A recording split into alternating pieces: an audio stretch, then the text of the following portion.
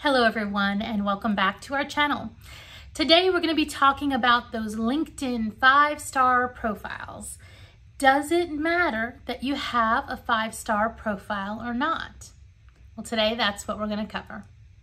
Now before we get started, please if you haven't already, consider subscribing to our channel. Ring that bell for notifications of future videos and give us that thumbs up if you feel like this information is helpful. So I have lots of job seekers that are constantly asking me saying, does it matter whether or not I have a five-star profile on LinkedIn? And for those of you that haven't really heard of this, what it is, is when you're first creating your profile, LinkedIn has a bar at the bottom and it tells you how you're doing in creating your profile. And when you get all the way to the top of that little profile bar, it says you have an all-star profile.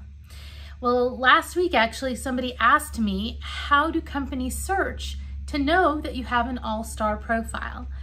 And my answer to them was, we can't. There is no search filter on LinkedIn that says only show me those that have an all-star profile. So does it matter if you have one or not? Yeah, actually it does. And here's why. While you can't search for an all-star profile, the reason LinkedIn is trying to get you to do that is so you add more data to your profile. And that's what it's all about. If you don't have the data on each of your different sections, then you don't come up in the searches. And that's what we're trying to do with LinkedIn is get past all those searches being done by recruiters and companies and getting a person actually look at your profile and see all the wonderful things about you. So it, when they say having an all-star profile, again, can you search by it? No, but does it help? Yes, again, let's take the example of if you don't put enough experience data for each of your jobs that you've held and you just put a job title and think that's enough, what happens is if a keyword search is done on LinkedIn, you don't come up in the search. Now there are all kinds of stats that LinkedIn has. Things like if you have at least five skills on your profile, you're gonna come up, I think it's 27 times more likely. If you have a profile picture, you're gonna come up this many more times likely when people are looking at you, they're gonna click on you.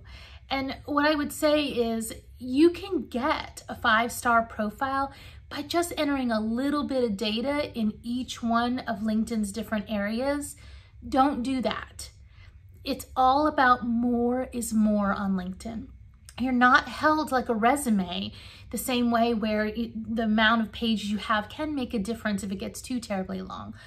I don't care as a recruiter how long your LinkedIn profile, but I do care if there's not data on there and you don't show up in my search.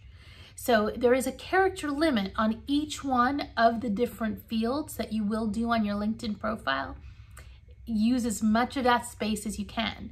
Like when you get to your skills section, you can actually have up to 50 skills.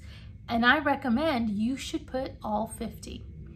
So while it does not really matter if you have a five-star profile, what matters is the data that's contained on your LinkedIn profile.